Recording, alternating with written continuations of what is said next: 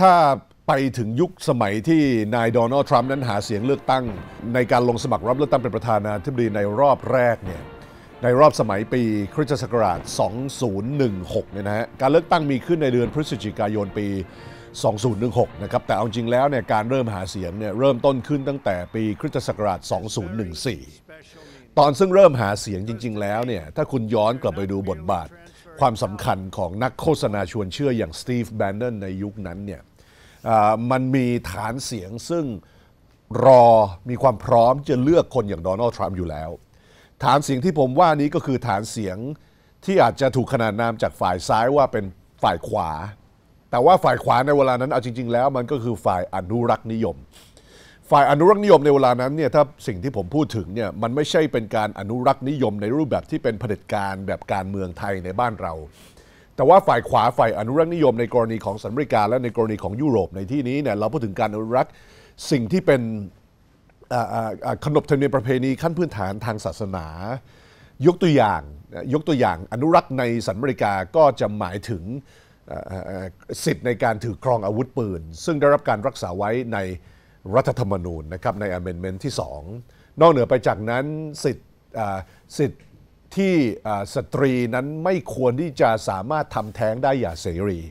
ในที่นี้ในอเมริกาเนี่ยฝ่ายอนุรักษ์นิยม เขาก็พยายามที่จะรณรงค์มาโดยตลอดว่า การทำแท้งนั้นสามารถทำได้หากมีความจำเป็น แต่ว่าไม่ใช่ว่าสามารถทำได้ไปจนถึงไตรมาสที่ 2 และ 3 โดยที่มาตรฐานก็คือว่าหากมีความจำเป็นและเป็นความเสี่ยงที่มีถ้าเกิดตั้งครรภ์ต่อ เป็นความเสี่ยงที่มีต่อ ผู้ซึ่งตั้งครรภ์ผู้ซึ่งเป็นมารดาเนี่ย ถึงจะมีความชอบธรรมในการทำแท้ง แต่ว่านอกเหนือไปจากนั้นเนี่ยไม่มีความชอบธรรมนะเพราะฉะนั้นเอ่อคำว่าอนุรักษ์นิยมในสหรัฐอเมริกาในเวลานั้นเนี่ยคุณคุณก็จะมี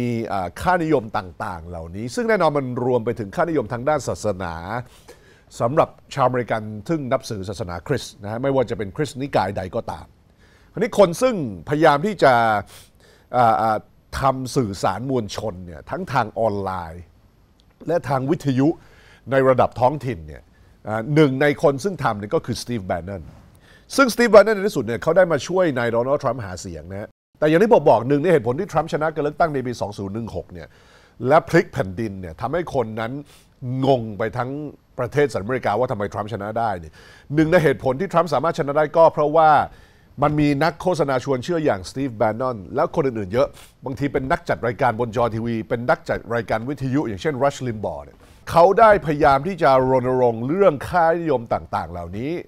มาโดยตลอดเป็นระยะเวลาหลายปี พอทรัมป์เริ่มหาเสียง แล้วทรัมป์ประกาศตั้งแต่ในปี 2015 ว่าเขาต้องการที่จะผลักดันให้มีการสร้างกำแพงระหว่างเม็กซิโกและสหรัฐ เขาต้องการผลักดันไม่ให้มีการรับ พลเมืองซึ่งเดินทางมาจากประเทศมุสลิม เขาต้องการผลักดันนโยบายที่ลดปริมาณคนต่างด้าว ซึ่งอเมริกาอนุญาตให้เข้าประเทศในแต่ละปี ว่าเมื่อเขาประกาศว่าเขาต้องการนโยบายแนวอนุรักษ์ในลักษณะนี้เนี่ย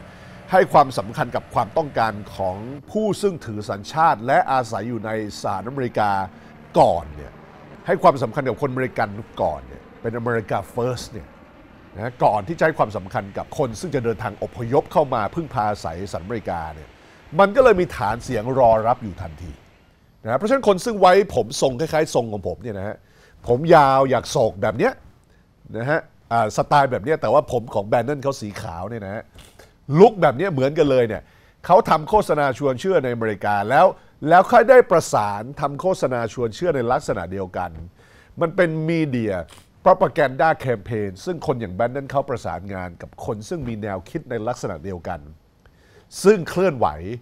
ในประเทศซึ่งอยู่ในโซนยุโรปตะวันตก แล้วนอกเหนือไปจากนั้นในสหราชอาณาจักรแบนดอนเนี่ยก็มีเครือข่ายไม่ว่าจะเป็นในอิตาลี ในสหราชอาณาจักรหรือในสหรัฐอเมริกา